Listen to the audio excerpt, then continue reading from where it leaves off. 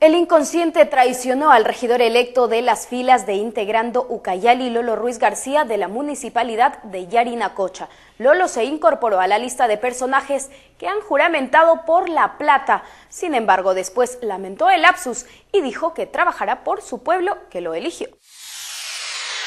Cumplir fielmente el cargo de regidor para el periodo de gobierno municipal 2011-2014 que el pueblo de Yarinacocha os ha confiado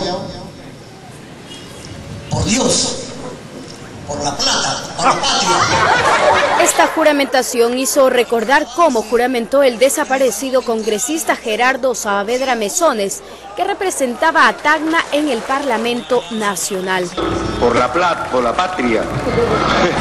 Ahora Lolo Ruiz, conocido animador de fiestas infantiles y presidente del Frente de Defensa Paralelo de Yarinacocha, de las filas del tres veces reelegido alcalde Edwin Díaz Paredes, llamó poderosamente la atención por la forma tan extravagante de juramentar, al decir que juramenta por la plata que recibirá estos cuatro años que estará como regidor municipal.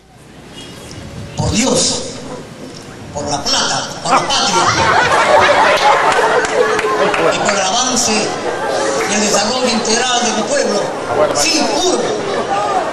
Esta declaración las dio en el Palacio Municipal, donde trabajará durante cuatro años.